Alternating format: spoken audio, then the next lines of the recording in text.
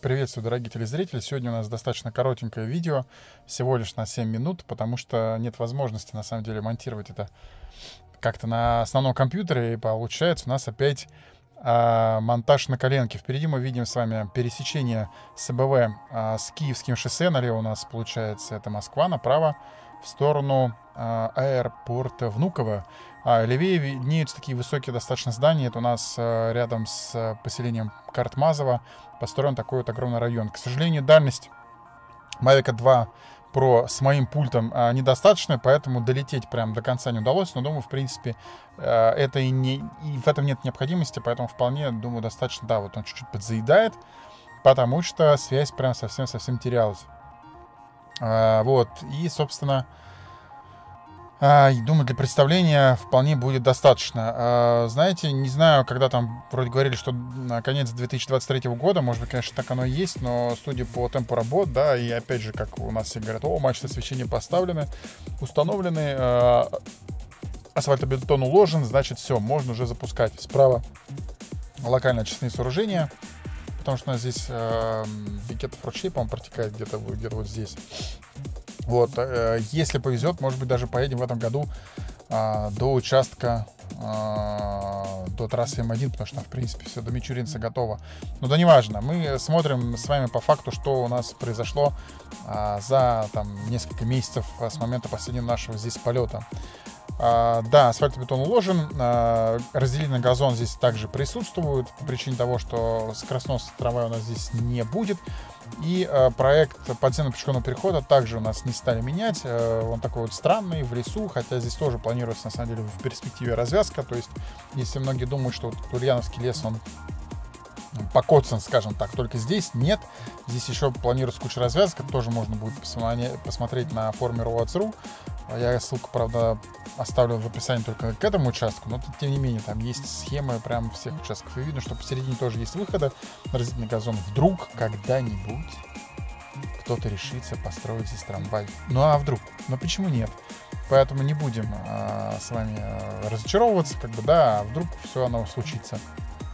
Хотя работу придется достаточно прилично сделать. А, почему невозможно сделать, как вот я так уверенно говорю, потому что в сторону коммунарки э, задел под трамвайную линию на самом деле стали, ну, использовали для продления Сокольнической линии. То есть, в принципе, ее искусственно туда продлили. Она должна была заканчиваться в Саларьево, и от Саларьева должен, должен был идти трамвай. В итоге у нас метро идет аж вот до коммунарки и дальше потянется чуть ли не там не до Бутова доперется. Но, опять же, трасса у нас э, СБВ, сокращение Солнцево, Бутово, Варшавское шоссе, но оно когда-то называлось Видное. В итоге э, дорога закончена на Варшавском шоссе продолжает строиться. Сейчас у нас действующий основной участок от э, Калужского шоссе до Киевского шоссе. И вот надеемся, что скоро мы поедем до Боровского шоссе и далее до э, Минки, до, до трассы М1 Беларусь. Вот еще один у нас пешеходный переход. Здесь уже никаких выходов посередине нету. Здесь уже как бы проект скорректирован. Но, возможно, скоростной трамвай здесь просто не будет делать остановку. Поэтому, в принципе, э, все логично и все реально. И вот э, очень интересующий нас момент. Мы приближаемся с вами к микрорайону Рассказовка и к Боровскому шоссе. Э, видно, что там, где, по идее, должен идти трамвай, у нас активно высаживают деревья. Думаю, что они здесь так и останутся, приживутся, все будет классно.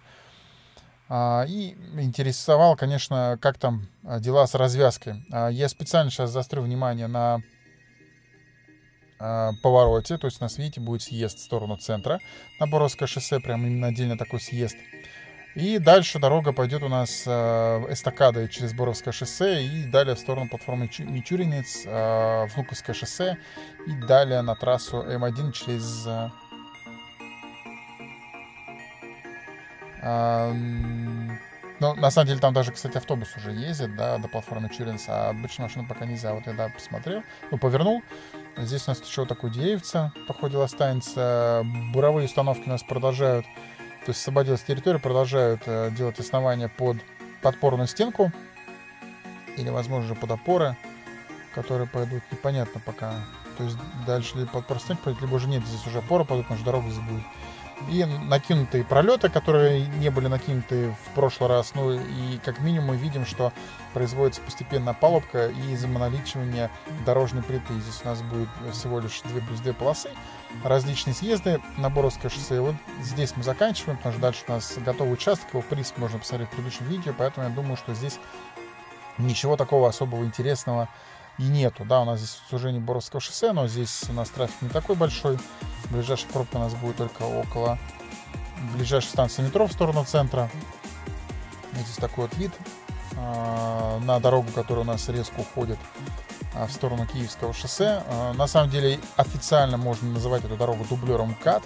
Это на самом деле так оно и есть, потому что часть трафика, да, она снимет тем, кто, ну, кому нужно там а, с лесного городка, например, или с Боровского шоссе, да, с Солнцева уехать в Бутово, не обязательно выезжать на МКАД. Это действительно с, э, достаточно хорошо разгрузит. И трасса это будет бесплатная, в отличие от той дороги, которая у нас будет строиться на севере. Это платное Осташковское шоссе, так называемое, от Афанасова и до а, Ярославского шоссе. И она, конечно, там совсем не тех размеров, а, не тех масштабов. Вот давайте посмотрим, как у нас будет обустроен съезд.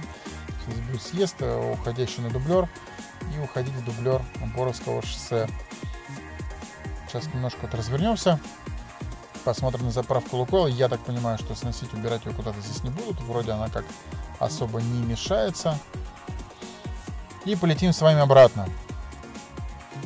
Принципе, такой небольшой короткий участок. А, зато мне кажется, что мы вот понимаем и видим состояние готовности на сегодняшний день. По мне, так э, все говорят на 45%, я думаю, что где-то процентов на 60 готово. Если вдруг все повезет, звезды сойдутся, а, то до конца года, может быть, поедем. Нет, ну, значит, нам обещали конец 2023, ну, почему бы и нет. Хотя готовность, смотрю, достаточно высокая. Может быть, это какое-то рабочее движение, а уже приемка будет чуть позже, так, такое тоже бывает. И я с вами прощаюсь. Напоследок такая вот небольшая вставка лесная. Естественно, там иду впереди я. Это проверка слежения, не потеряет ли мне дрон за ветками деревьев.